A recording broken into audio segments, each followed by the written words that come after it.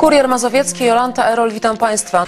Będzie referendum w Raciążu. Rada Miasta chce odwołania burmistrza. Główne zarzuty wobec Janusza Sadowskiego to niezrealizowanie zaplanowanych inwestycji i niestosowanie ustawy o zamówieniach publicznych.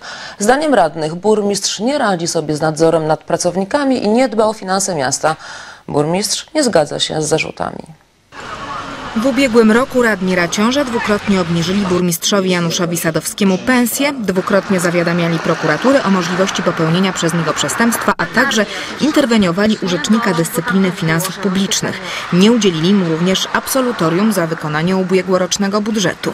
Głównym powodem było nierealizowanie inwestycji, które zostały przez Radę wprowadzone do, do budżetu, a bardzo ważnych dla mieszkańców miasta. Chodzi o monitoring miasta, kanalizację deszczową i oświetlenie ulic. Burmistrz uważa, że radni oczekiwali od niego cudu, bo wykonanie tych zadań w terminie było niemożliwe.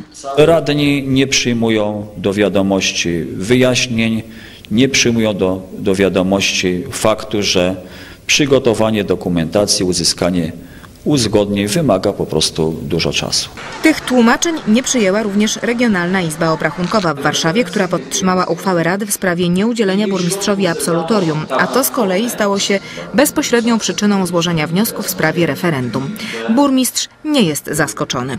Współpraca, właściwie brak współpracy przez prawie dwa lata obecnej kadencji świadczy o tym, że w pewnym momencie taki wniosek padnie. Czy burmistrz zachowa stanowisko? Zdania mieszkańców na temat jego pracy są podzielone. W ogóle nie, nie gospodarz. Pieniądze są przeznaczane, od, odejmowane z innych inwestycji na inne, sam decyduje. Pan burmistrz nie jest kompetentny. Po prostu mm, są jakieś inwestycje, które są zupełnie nietrafione. Ja oceniam pozytywnie.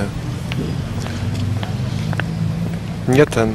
Ja uważam, że nagonka jest na burmistrza skierowana z, z członków Rady. Referendum odbędzie się prawdopodobnie jeszcze w tym roku. Żeby było ważne, musi w nim wziąć udział ponad połowa mieszkańców uprawnionych do głosowania. Kończymy Kurier Mazowiecki, poniedziałek w stolicy i regionie. O 21.45 podsumuje Mateusz Chładki. Zapraszam Państwa.